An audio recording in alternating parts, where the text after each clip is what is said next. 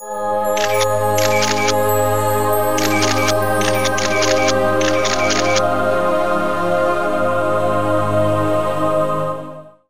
and gentlemen, I am here with um, American rock and roll star Mat Devine. How are you?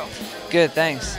Uh, now, you've got um, a solo project coming out this year. Yeah, yeah, my first solo record. It's called Gold Blooded, and it's coming out actually next year, I think. Actually, probably like April, but start leading up to it soon. Yeah.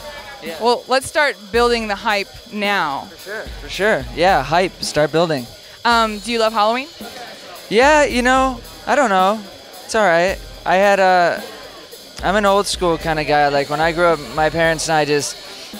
It was always like homemade, custom kind of stuff. The old school, like burnt the cork to make, you know, like fake. In a tasteful way. You know what I'm talking about though? Like we never had the awesome, like ratty, electronic like LED costumes and stuff. Like it was like super, like go up in the attic and whatever your uncles threw away like the year before, you kind of. So I was like always a. I get it. Poor people.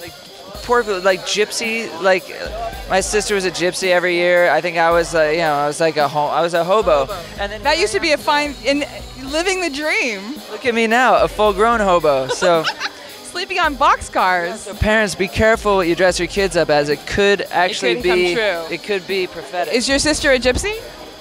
you know, no, unfortunately, she's actually a normal person. Yeah. Well, thank you so much for attending. I know you do. Yeah. Because you're a rock and roll star.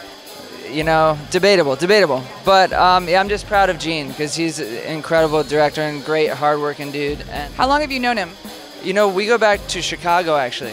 So this is, you know, a great night for him, and I'm just happy to support him. What's your least favorite thing about him? About him?